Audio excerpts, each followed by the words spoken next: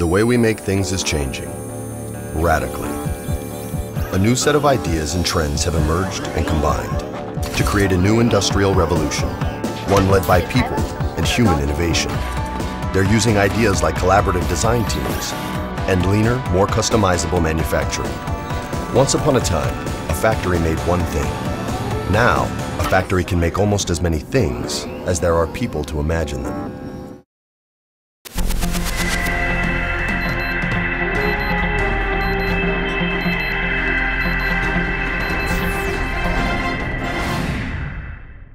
From Creamer Media in Johannesburg, this is the Real Economy Report. Metric Automotive Engineering has invested in a factory expansion as well as several new technological innovations to increase its machining and remanufacturing capabilities and capacity for earth moving and surface mining equipment. Mia Breytenbach tells us more. Metric Automotive Engineering first started its expansion drive about three years ago to enhance its service offering for surface mining and earth moving operation equipment that require repairs or remanufacturing to original equipment manufacturer specifications. The company has noted a shift in the needs of OEM and earth moving and mining clientele for an upgrade in the service offering including the need for strict machining tolerances from engineering companies. There's been a huge swing to engines that are electronically controlled and with that is a whole group of new technologies. The driver behind a lot of that is emissions and efficiency. Um, you can control an engine a lot better through electronics than you can mechanically. Um, the result of that is they're producing more power with less fuel, with less emissions. In order to do that, the OEMs have cut the running clearances and tolerance, machining tolerances down significantly. So it's changed the market's needs in that when they have components remanufactured, the remanufacturing tolerances are very tight. And if they are using service providers that don't have equipment that can deal with that correctly, the repairs or remanufactured components are not going to conform to OEM spec.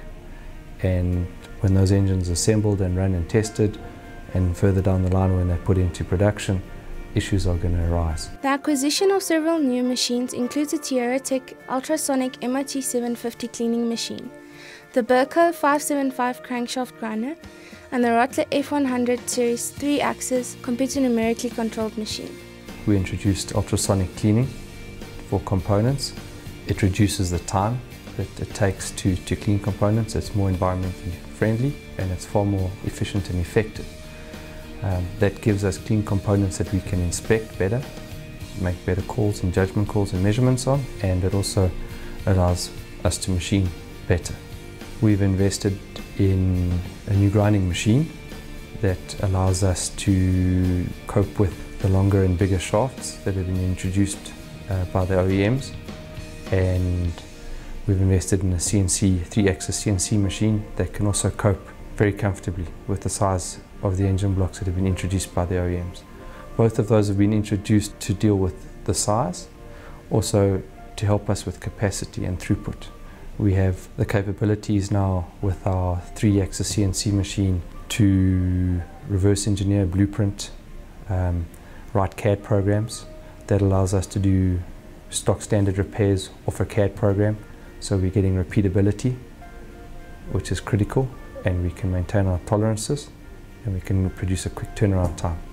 Turnaround time is key in earth moving and mining. Part of what prompted the acquisitions is the use of larger engines in earth moving and surface mining equipment, which means that larger engine blocks and crankshafts need to be machined. However, these machine acquisitions are also unique in Africa, according to Yorke. On the crankshaft grinder, um, there hasn't been a machine of this capacity introduced into this country in the last 35 years. So we're bringing in the latest generation crankshaft grinder. It's new, it has very fine tolerances, which means our grinding tolerances can be maintained. That's a critical factor in grinding a shaft. We've coupled that with compensators, air compensators to help us in our grinding process. They're the only compensators in Africa, so we're offer, able to offer a service there that no one else can provide in Africa. And it, it's all just moving towards the tolerances and how close we can stick to the OEM specification that's required to remanufacture a component. on the, the 3-axis CNC machine that we brought in. It's one of 10 in the world. It's the only one in Africa. And it's just given us capabilities, repeatability that no one can match. Other news making headlines this week, the South African manufacturing sector receives a 1.4 billion rand boost from Unilever's new facility. Adding to its almost 4 billion rand investment in the South African consumer goods manufacturing space over the last four years, international group Unilever has officially unveiled its fourth South African production facility in Boksburg, Johannesburg. An investment that we've made here in three new factories since 2011 is obviously more than its fair share if you look at all these numbers in any country, and it reflects the confidence that we have in the country and in its economic progress over the longer term. 4 billion rands sounds like a lot of money to me. 4 billion rands invested in this. And this factory is another great example again, more importantly, creating a thousand jobs. That's Creamer Media's Real Economy Report. Join us again next week for more news and insight into South Africa's real economy.